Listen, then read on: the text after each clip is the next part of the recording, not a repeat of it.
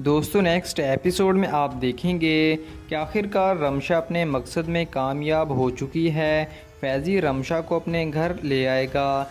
लेकिन जब सफदर साहब रमशा को फैज़ी के साथ देखेगा और उसे ये मालूम होगा कि फैज़ी ने रमशा से शादी कर ली है तो फिर सफदर साहब को हादिया की बातें याद आएँगी कि हादिया बिल्कुल सच कहती थी फैज़ी का किसी लड़की से ताल्लुक़ है और वो उसे हर रोज़ मिलने जाता है, जबकि रमशा सफदर साहब और शीना के सामने एक शरीफ और मासूम बनने की कोशिश करेगी, लेकिन ये राज ज़्यादा दिन छुपा नहीं रहेगा और फैज़ी के सामने रमशा और जहेब की असलियत आ जाएगी। तो दोस्तों, ये सब कुछ देखेंगे आप आने वाली एपिसोड में।